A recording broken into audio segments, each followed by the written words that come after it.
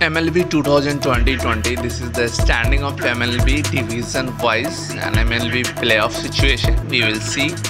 So you can see the standing of American League and National League. So let's start. First we will talk about the American League division that is the American League East division. You can see the standing. This is the standing of American League East division.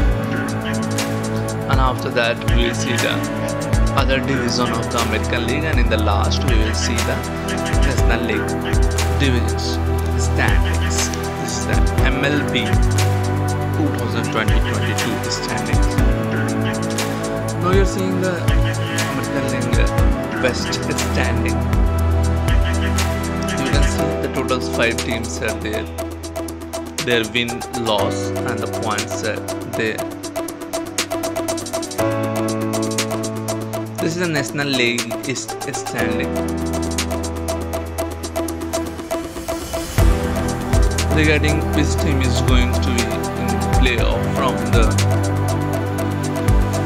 American League and National League, you can comment in the comment box. This is the National League Central Division standings. If you want the standing league-wise, you can comment in the comment box. Standing by division wise MLB. Baseball is standing. In the last, thanks for watching. Please like, share, and subscribe this channel. Have a nice day. Thank you. Bye bye.